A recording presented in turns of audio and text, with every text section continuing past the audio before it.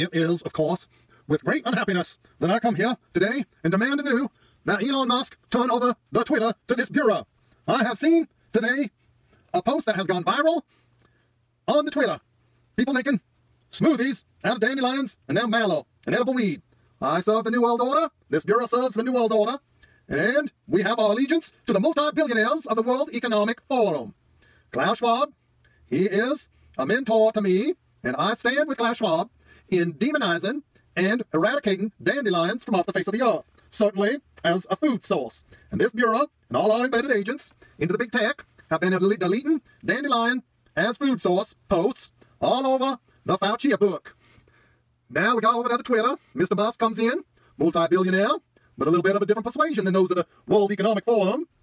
He is talking about freedom of speech. And he is pushing to have people freely publish what they want. We got a bunch of yahoos showing their smoothie making, green smoothies. Screw you, Bureau Chief. Bye-bye to you, Cash Schwab.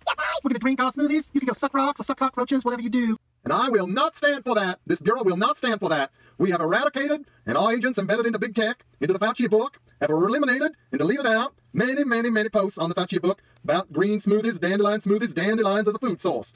Now we are beyond and past the time when we're going to continue to have this kind of nonsense. Elon Musk, you turn over your Twitter to this bureau, and we will take down and eradicate all those dandelion smoothie posts.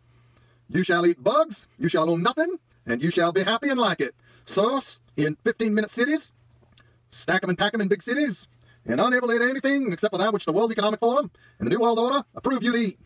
Now, Mr. Musk, I call upon you now to yield to this bureau.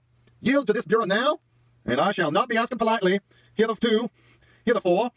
You submit, Mr. Musk. You submit now, and cease this kind of free expression of food, cuisine, other things you seem to think is deemed as free speech. We have not deleted all these dandelion smoothie posts, only to have you buy out the Twitter, eject my personnel from out of that big tech enterprise, then start fomenting and allowing dandelion smoothie posts to proliferate.